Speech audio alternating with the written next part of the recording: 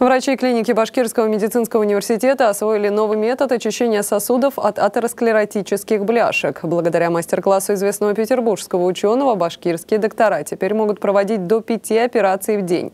Об инновационном методе лечения расскажет Катерина Добрынина.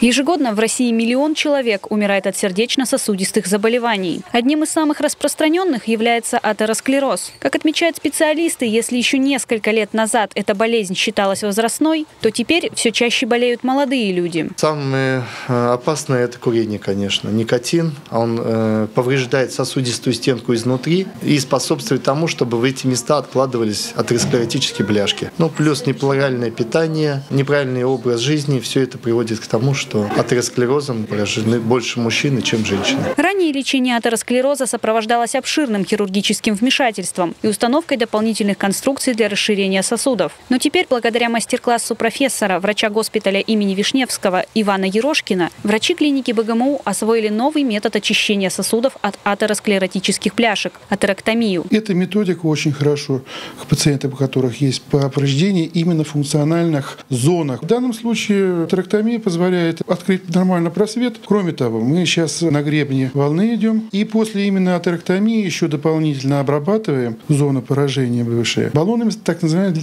лекарственными покрытиями, которые предотвращают возникновение рестенозов и реокклюзий. Всего в рамках мастер-класса за один день было прооперировано 5 человек. И доктора считают, что это не предел, ведь встать на ноги после этой операции пациент может меньше, чем за неделю.